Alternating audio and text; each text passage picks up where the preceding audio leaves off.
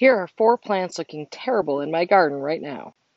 I nestled a little pot between some dahlias in the garden and planted Salvia argentea and Gaura in it, and what a disaster that's been. The Salvia argentea looks terrible. There's not enough sun getting to this. Big fail.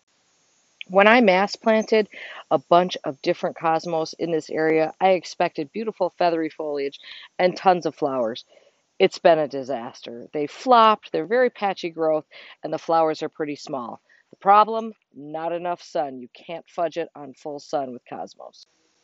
The hostas are all looking super tired. It's been dry, the slugs have had a field day, and they're just looking crispy and pretty bad. It's the last hurrah for the sweet peas. The heat and the humidity has finally gotten to them, even though for a while it was a really great year. These will be the last flowers here. As you can see, this vine is browning and getting crispy, and that'll be the end of it then.